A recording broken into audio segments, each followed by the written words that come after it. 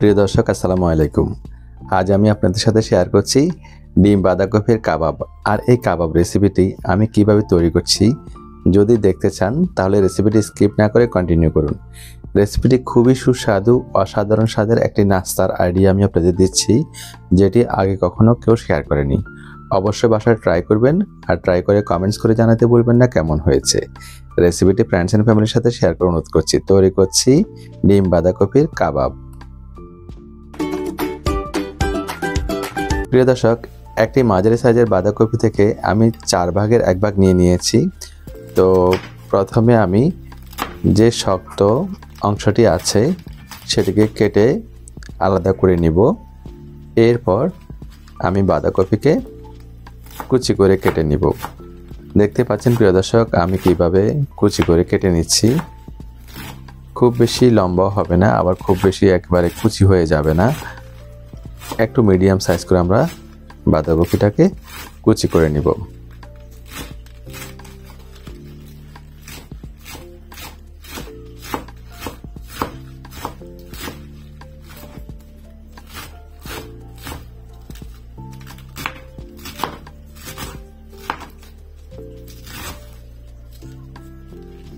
দেখতে পাচ্ছেন প্রিয় দর্শক, আমি কিন্তু একটু ঘুরিয়ে ঘুরিয়ে চারপাশ থেকে কুচি করে কেটে নিচ্ছি যাতে একেবারে লম্বা না হয়ে যায়, আবার একেবারে খাটো না হয়ে যায়। তো বাঁধাকপিটা আমার কুচি করা ডান। এখন আমি বাঁধাকপিগুলোকে উঠিয়ে একটি মিক্সিং বলে রেখে দিব। একটি মাঝারি সাইজের দেশি পেঁয়াজ নিয়ে নিয়েছি, দেখতে পাচ্ছেন। পেঁয়াজটাকে প্রথমে মাঝখান থেকে ফালি করে যতটুকু সম্ভব মিহি কুচি করে নেব আমি।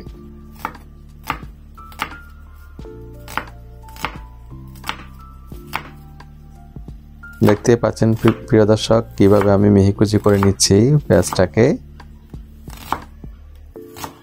আমরা যতটুকু সম্ভব মিহিকুচি করে নিব পেঁয়াজকে।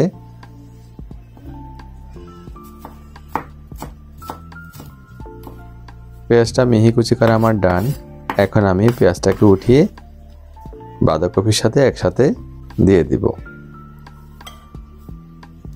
এরপর আমি এখানে দুটি মাঝারি সাইজের কাঁচামরিচ নিয়েছি, দেখতে পাচ্ছেন। কাঁচামরিচকেও একই উপায়ে মিহি কুচি করে নিব।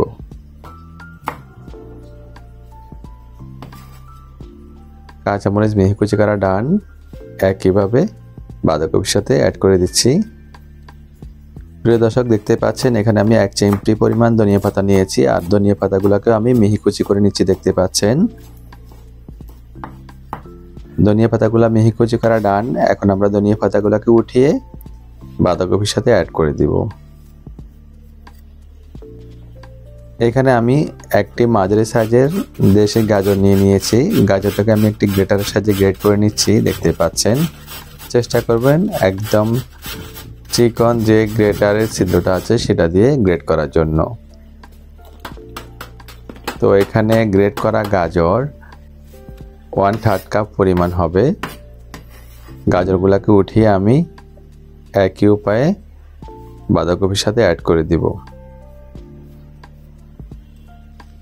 এরপর আমি এখানে কালো গোলমরিচের গুঁড়ি ক্রাশ করে দিচ্ছি, হাফ চা চামচ পরিমাণ।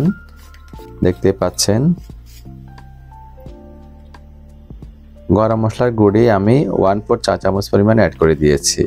এখানে দারুচিনি, এলাচ, লবঙ্গ, জয়ত্রী, জয়ফল, ধনিয়া, জিরা সব কিছু রয়েছে। আর বাকুইট ফ্লাওয়ার অ্যাড করে দিচ্ছি আমি এখানে ওয়ান ফোর্থ কাপ এক কাপের চার ভাগের এক ভাগ। প্রাথমিক অবস্থায় একটি ডিম অ্যাড করে দিলাম। এরপর হাতের সাহায্যে খুব ভালো করে আমি মেখে নিব। নিশ্চয় লক্ষ্য করেছেন প্রিয় দর্শক, আমি এখনও লবণ কিন্তু অ্যাড করিনি। প্রথমে যদি আমরা লবণটা অ্যাড করি, আমি এখানে একটা টিপস দিচ্ছি আপনাদের, এটা সবসময় লক্ষ্য করবেন। প্রথমে যদি আমরা লবণটা অ্যাড করি, তাহলে কিন্তু বাঁধাকপি থেকে পানি বের হয়ে যাবে। তো লবণটা আমরা সবার শেষে অ্যাড করব। তো আমি আরও buckwheat flour one fourth cup দিয়ে দিয়েছি total half cup buckwheat flour দিয়েছি আমি এখানে। বাকুইটটা হচ্ছে এক ধরনের রাইস যেটা আমরা আমাদের লাইফ স্টাইলে খেতে পারি। এটা আমি ডাক্তার মোহাম্মদ জাহাঙ্গীর কবির স্যারের অর্গানিক লাইফ থেকে নিয়েছি এবং সেটাকে গুঁড়ি করে নিয়েছি। কথা বলতে বলতে আরও একটি ডিম অ্যাড করে দিলাম আমি। টোটাল দুটি ডিম আমি অ্যাড করে দিলাম, আর বাঁধাকপি কুচি মেজারমেন্ট কাপে দুই কাপ হবে কিন্তু।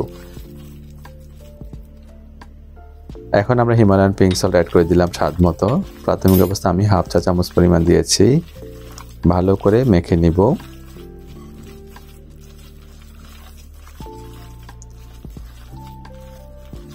এই অবস্থায় যদি লবণটা দিই, তাহলে কিন্তু আর বাঁধাকপি থেকে পানি বের হওয়ার কোনো চান্স নেই।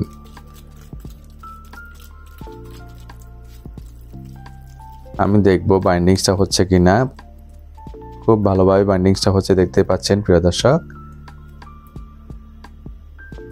হাতে যেগুলো লেগে আছে, সেগুলোকে কেচে দিয়ে দিব। কেচে দিয়ে আমি কিন্তু লবণটা ছেঁকে দেখব একটু। লবণটা পারফেক্ট আছে কিনা। একদমই পারফেক্ট আছে। সরাসরি চুলায় চলে আসলাম। চুলায় একটা প্যান বসিয়ে ওয়ান ক্লোভ বাটার দিয়ে দিয়েছি। এই ধরুন, এক টেবিল চামচ পরিমাণ বাটারটা গলে গেলেই আমি পরিমাণ মতো ডো দিয়ে দিব এবং শেপটা একটু গোল আকৃতি করে দিচ্ছি। দেখতে পাচ্ছেন। তো কাবাবের শেপগুলো কিন্তু হয়ে যাচ্ছে, দেখতে পাচ্ছেন। আর চুলার ফ্লেম লো টু মিডিয়াম ফ্লেমে আছে। আমরা কখনো সত্তর থেকে আশি ডিগ্রি উপরে উঠবো না। সত্তর থেকে আশি ডিগ্রি উপরে যদি উঠি তাপমাত্রা তাহলে একসময় একশো দশ ডিগ্রিতে যে খাদ্যের মান একেবারে কমে যায়। খাদ্যে কোনো প্রকারের অ্যানজাম থাকে না। তো লো টু মিডিয়াম ফ্লেমে আমি প্রথমে তিন মিনিট কুক করেছি। চারপাশ একটু ব্রাউন কালার দেখা গেলে আমরা কাবাবগুলোকে উল্টে দিব। সবগুলো কাবাব উল্টে দিয়েছি আমি। আরও হাফ চা চামচ পরিমাণ বাটার আমি অ্যাড করে দিলাম। বাটারটা গলে গেলে চারপাশে আমি ছড়িয়ে দেব। আই মিন স্প্রেড করে দিব। দুই মিনিট কুক করব, এখন আমরা। আর একটু ঠকঠক করে শব্দ হলে আমরা কাবাবগুলোকে নামিয়ে নিব। নামিয়ে একটি কিচেন টাওয়ালে রেখে দিব, যাতে অতিরিক্ত তেল কিংবা বাটার চুষে নেয় এভাবে আমরা সবগুলো কাবাব বানিয়ে নিব। তো প্রিয় দর্শক, সবগুলো কাবাব বানিয়ে নিয়ে আমি একটি সার্ভিং ডিশে সার্ভ করে দিয়েছি। আর এখানে আমি টক দই এবং হিমালয়ান পিংসল দিয়ে একটি সসও বানিয়ে নিয়েছি। দেখুন প্রিয় দর্শক, এটা দেখতে যতটা পারফেক্ট দেখাচ্ছে, খেতেও ভীষণ সুস্বাদু, অসম্ভব মজার। আমি খেয়ে দিচ্ছি আর খেতে খেতে আপনাদের কাছ থেকে বিদায় নিচ্ছি। আর আপনারা কিন্তু রেসিপিটি অবশ্যই স্বজনদের সাথে শেয়ার করে দিবেন। আর বিদায় নিতে আমি একটি মেসেজ দিব আপনাদের। স্বাস্থ্যকর খাবার খান, নিরাপদ জীবন গড়ুন।